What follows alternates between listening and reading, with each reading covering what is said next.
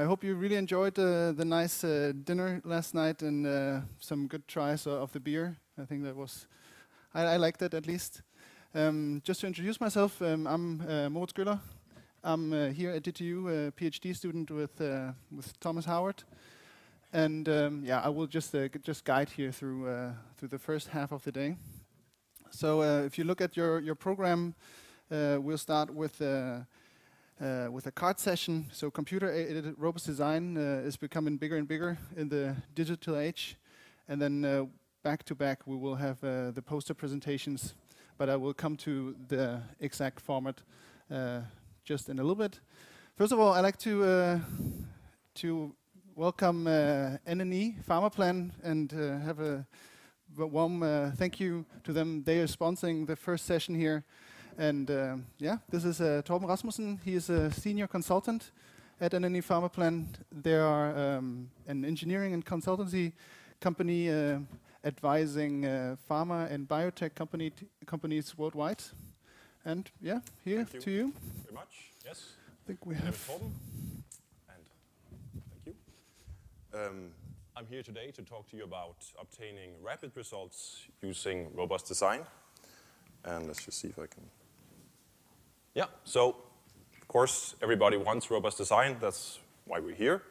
Um, and we want this because we want to minimize our costs. We want to minimize our yield issues. Um, and we all know, also know that in order to have robust design, we need to be able to evaluate if we have it, and if needed, to optimize it. Uh, in our experience, however, uh, many companies have difficulties getting started using robust design. And they have difficulties getting started in a way where they can see the results rapidly. So we have found that one path leading to, uh, to robust design with rapid results uh, would be to involve the right people. This probably goes without saying, but we've also experienced that very often this is not the case. So you fail to involve marketing, R&D, production, and QA in one sitting in order to have or build uh, a solid uh, house of, of quality. So you fail to have the customer requirements transformed into product specifications, transformed into component specifications, and then ultimately transformed into process specifications. That's not the topic of today. The topic of today is how to use some easy to access and flexible software to actually get there, to get these rapid results. Because these easy to access software will allow you to have fast startup, and a fast startup is going to enable you to have fast results. Faster results is going to please management, so you're going to have those on board. Uh, you need something that is easily adaptable. And this could be a good idea because it would enable you to use the same tool for multiple purposes. You wouldn't have to have something that's geometric. You could also analyze processes or what have you. Um, you need to build a realistic model because the realistic model enables you to differentiate, for instance, between short-term and long-term variation, OQ, PQ demands. Um, having a software that enables you to set enforceable input assumptions. And this is really critical because you want to be able to uh, reliably predict the variation and yield issues you might have um, from your incoming components. Uh, you want to be able to feed back data from your pilot production back into the analysis model so that you will be able to learn from your findings, but also be able to set your specifications more realistically so that actually reflects what your, your production facility is, is capable of. Now, this is the topic of today. Um, so first up, easy to access and flexible software We chose Vartran, short for variance transmission. I'm sure that a lot of you know it. Vartran is a small software that allows you to set up a basic I.O. system. You have some inputs, you have some outputs, you link them through a transfer function. Uh, very importantly, it allows you to make some realistic assumptions about the variation, not just choosing the distribution, but also making some additional assumptions about how this distribution can move. Um, and this is important for having a realistic uh, evaluation of your output performance. And in addition, Vartran allows you to do some simple optimization of your inputs in order to make your design more robust. So let's uh, five easy steps to, to get started with Vartran. First up, you uh, list the, uh, the output. In this case, we have a medical pump, so the output could be flow rate. You uh, enter the specifications, so for a pump in uh, and flow rate, you might measure things in milliliters per minute, so you could set the upper and lower spec on this. You list the critical inputs, and it sounds easy on a, on a PowerPoint, but uh, this might be a whole exercise in itself. You, you have to do DOE or involve the right people, uh, get everybody together to figure out what actually characterizes my, my output. Uh, so once you have the list of critical inputs, you need to link them to the output. So you need a transfer function. And in Vartran, this has to be analytical. So you need to be able to create a formula that, that links your inputs to your output. So this might not uh, be easy either, so you might need to do design experiments or at least getting some bright minds together in order to create this transfer function. Then you come to the critical part by defining the capability assumptions for your inputs in order to make this realistic assumption or getting the real realistic uh, estimate of your uh, defect rate on your output, which is what Vartran then provides. It uh, provides two outputs actually. It's going to give you the ideal case on target every input's align perfectly with the assumptions uh, in, uh, in the, uh, the specifications. So this is, in this case, for the flow rate, you're going to have a 300 ppm defect rate. But it also gives you the, uh, Vartran calls it the worst case, which would correspond to the worst batch on the worst day uh, combination of your inputs, which in this case has almost 11% defect rate. So this is a great tool for spotting uh, potential risks uh, in, your, uh, in your product. Uh. So let's just try this on a client case instead. So here we had a client who had some injection molded parts needed to come together with some rubber parts that needed to weld together to create a sealed compartment within the device. Um, and because you had a lot of incoming components, you had a, a a lot of rubber uh, parts and you had machines assembling things and actually making the weld, there was the possibility that you might compromise this sealed compartment within the device. And they wanted to make this more robust or at least figure out if they could make it more robust to, to all these uh, sources of variation. So we went through the, the five steps using Vartran. We figured out the output, uh, listed all the inputs. In this case, it was quite easy to list the inputs because it was just a geometric consideration and you could pr project it onto 2D. So um, we would uh, then establish the transfer function, which was also quite easy, actually. I think it took about an hour to, to get there.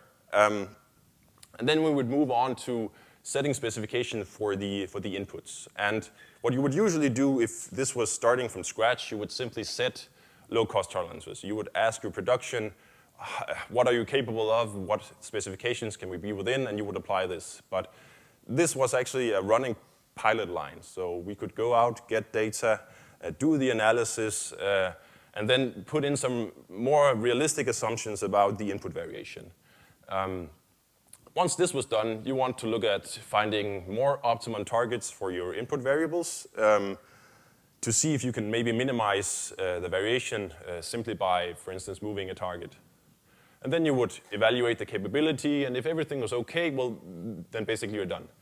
In our case, we were done. Simply by doing a target movement, we actually made it there. But had this not been the case, you would want to identify the most critical input parameters to, uh, to see which one is contributing the most to the output variation. You would look at optimizing tolerances, and maybe it's not as much hitting tolerances with a hammer, but maybe more redistributing tolerances, taking uh, tolerance from one input variable that might have a very high capability and giving it to an input variable that needed more. And then you would close the loop, look again at optimizing targets, evaluate your capability, and then hopefully eventually you're going to be done. Um, so the results from this, well, the initial uh, estimate of uh, worst batch defect rate was actually as high as 89% for this specific product. Um, so of course there was a problem needed to be fixed. Um, and as I mentioned, simply by moving the target for one of the, the input variables, in this case, actually the welding position of this weld between the uh, injection molded part and the rubber part, uh, by moving this, uh, and the designer had put it in what he thought was the most obvious place on, in the middle of uh, injection molded part. But by moving it to the middle of the overlap between the injection molded part and the uh, rubber part, you would move the entire distribution. And this might seem really obvious just by looking at it here. Um, but unless you, you gather the data, figure out how this worst batch defect rate look, you have no idea how much to move it, and you have no idea if you moved it enough. So doing the analysis, figuring out what happens if we do this, are we then in the clear, is critical to gain uh, rapid results. So in this case, we actually finished uh, the, the, the, problem uh, in two weeks, of which one week was spent just getting the data, uh, doing the analysis, and feeding it back into uh, to Vartran. But we also have to acknowledge that Vartran might not be the right software for everything. Um, so very often we find that we turn to Excel, simple uh, software, or maybe not simple, but at least the software that everybody has. I mean, everybody have Excel, everybody knows how to use it. You might even have in your company people who are extremely good at using Excel, so you can make some very advanced uh, VBA coding, for instance. And uh, Excel has the, uh, the great advantage that it's so flexible. I mean, you can design almost anything you want. You can make the GUI the way you want. You can put in figures, uh, which Vartran does not allow you to. So in this case, we created a um, customized Excel tool for tolerance analysis, and the client would like it to look a bit like Vartran, so he would like the same uh, figures and same outputs, but he wanted to be able to take the entire thing and copy paste it into a PowerPoint presentation. He wanted to convey the entire message in one slide. Um, and he also, as I mentioned, he wanted all of these uh, different uh, things that he could get from Raster. So he wanted the graphical output, he wanted the sensitivity analysis, he wanted uh, the, the hardcore data. On top of this, he actually also wanted a Monte Carlo simulation being done. And he wanted to be able to see the specification he has set for his uh, product um, on the same sheet. Then, of course, there's a lot of things going on behind this. You have some input variables you define, but, but he wanted things to, to look as much as Vartran as possible, but still having something he could customize. Um, and using Excel also gives you some unique possibilities. As I mentioned in the beginning, you have the ability to administer short-term and long-term variation differently. So you might have input variables that are highly dependent on time, for instance. So running in production, you might have something that is not the same in your OQ, which will be different in running production or in your PQ. Uh, and you might have some inputs that are not, I mean, insensitive to process variation. So you want to be able to differentiate the demands in different stages for each of your inputs. So Excel is a great tool for administering this. Uh, it also allows you to customize the way you sum up things. Vartran is very strict in the way it does it, Whereas in, in, Excel, you can pretty much define how you want things to be, uh, to be mixed together, both in terms of the inputs, but also how you actually add up the, the contributions in the end.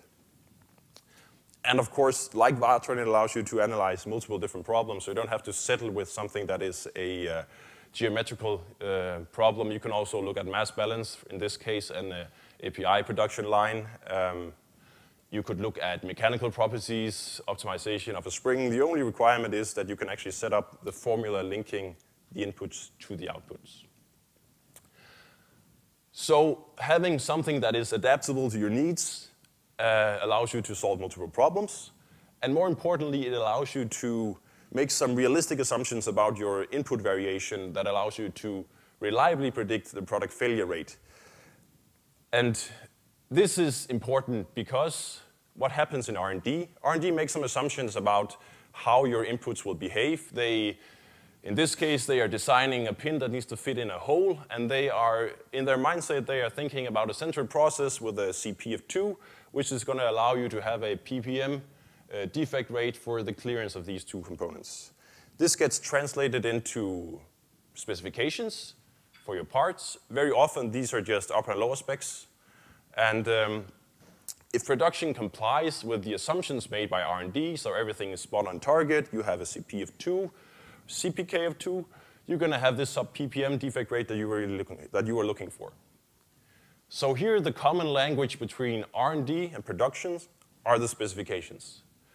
But what happens if production does not comply with the assumptions about a centered process, a CP of 2, They might still have a CPK of 2, but the pin is always a little bit too big, and the hole is always a little bit too small, but you have a very narrow process. Um, how would you then define the defect rate? The model built by R&D actually can't account for this. So now you have violated the assumptions made by R&D, and you no longer have the ability to predict the product failure rate. Um, and more importantly, you don't have any way of feeding back the data into the system because the analysis set up by R&D can't really account for something being offset. Everything has to be on target. Um, so this makes it really hard to have a common language, and if you don't have a common language, you don't, you're losing communication, and you lose the ability to learn and improve on your product. So if specifications do not reflect R&D assumptions, there is a real risk that your product will not behave the way you predicted it to once it hits the market. And just a side note here is that, well, using CPK is an ambiguous measure, so you need something to tell you, or at least have a model that can account for how well did I center my process. So this is where the CC index come into play, and you can come and ask us about that afterwards. Summing up, Using easy to access, flexible software allows you to have fast startup. This is going to ensure you have fast results. Management is going to be on board. They can see the results fast. Easily adaptable enables you to have the same tool used for many different problem types, uh, fitting your specific need. Building a realistic model is important if you want to differentiate between long-term, short-term, OQ, PQ, or just account for, for something that is changing in your inputs. Um, and you want to make sure that you can set enforceable input assumptions. Because enforceable input assumptions is the key to having a reliable prediction of your product failure rate. So being able to handle something that might shift, mean values might shift, um, and then you want to be able to feedback data from the pilot. So this is really very tightly linked to having enforceable input assumptions. But having the ability to feedback data from pilot allows you to learn from it and to more realistically set your demands for your, uh, for your product so that it will actually reflect your performance instead of just being reflecting the uh, R&D assumptions. Okay. I think uh, that was pretty much it. Much it. Am I a little bit over time? No, I think that's, uh, that's just fine. Uh, some quick questions here before we move on. Yeah. Uh, you used the term failure rate several times. Yeah. Uh, in, I think in my terminology it would be used if you have sure. PM in production. Sure. Uh, I think failure rate should be reserved for uh, failure over time in, in operation. Sure, defect rate. Let's call it defect rate. But we have a booth outside, so exactly. I, I, think we have some some some time some time later to uh, to get more into detail, yeah. and uh, yeah, Tom is going to be available the whole day, I guess, yeah. if you have any questions. Along with my colleague. So okay. Yeah, but uh, thank you very much. Uh, very interesting talk. And uh, yeah, this is for you. All right. Uh, coming up next um, on the program is the the computer-aided uh, robust design session uh, back to back actually with the with a poster session.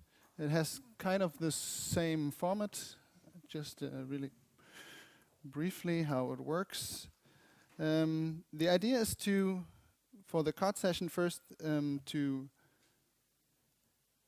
yeah, to see what, what kind of CAD uh, possibilities are actually there so we invited four CAD vendors, um, uh, very different ones. So dealing with tolerance uh, management, uh, GPS, uh, optimization, and uh, reliability. I think they they're going to introduce themselves in a little bit, um, and then afterwards we have uh, five poster presentations, and the format is as follows. So we're going to group again in five groups. So as yesterday, you have the the color on your name tags. So I would like to to meet your group at uh, the stand outside that has the the colored dot uh, associated to it, and then we'll have. Um, so we are a little bit over time already, but we have uh, five stations, five CAD vendors um, that will each do a 15-minute presentation of their software, and then we have one stand for NNE Pharmaplan, and there will be a, a CAD and RD methods, uh, method uh, survey. But we have a student there doing uh, doing the intro to that. Uh, then we'll have the 15-minute break, uh, followed by uh, the poster session. So that's also going to be then five times five minutes presentation of the posters. And at the end, we'll we'll have a, a longer time where people can just gather around where they think it's interesting and ask questions to uh, either the poster or the CAD vendors. Yeah. Finally, before lunch, uh, we will uh, close the the morning session with Matthias Ehlert uh, from BMW giving a keynote speech, and uh, yeah. So we have uh, we're in M1 right now, here, and then we have uh, these assigned groups, and then after the time, we will uh, give a signal, and then we will uh, go clockwise, but that will be organized. So don't worry about it. It's a little bit complicated, but uh, I, th- I think it's it's good that everyone uh, gets gets the chance to uh, have a, a little bit a, pri- a private talk uh, in smaller groups. I don't think it makes much sense if there are 60 people also standing in uh, uh, in front of the posters. So that's that's the format that we came up with. All right, I would uh, like you to go out and, and meet your group um, at uh, at the station. Thanks.